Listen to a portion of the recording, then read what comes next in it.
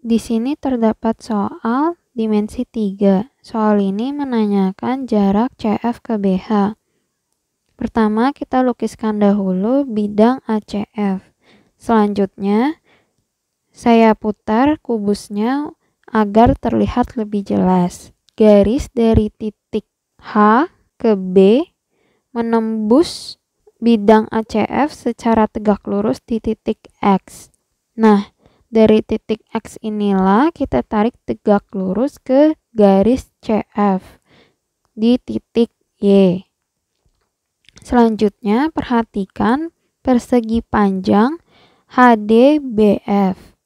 Perbandingan dari OX dengan XF adalah 1 banding 2.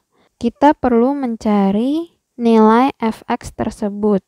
Pertama, kita cari nilai OB yaitu setengah dari diagonal sisi. Maka setengah akar 2. FO sama dengan akar setengah akar 2 kuadrat ditambah 1 kuadrat. Maka akar setengah ditambah 1 sama dengan akar 3 per 2 yaitu setengah akar 6. Selanjutnya fx sama dengan 2 per 3 dari fo. Maka 2 per 3 dikali setengah akar 6 hasilnya adalah 1 per 3 akar 6. Selanjutnya kita lihat segitiga fxy dengan segitiga foc.